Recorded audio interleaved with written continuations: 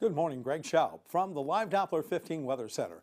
Well, we're still going to look for those clouds this morning. The good news is we're not seeing any widespread fog, so you're not going to have to worry about that. It will be cloudy and cold.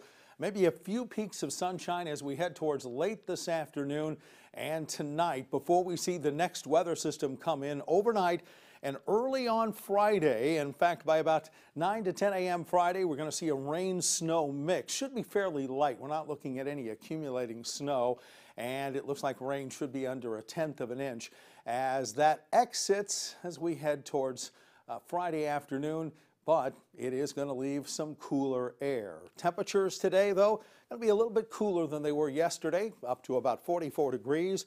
Cloudy tonight with just a slight chance of a shower towards early in the morning.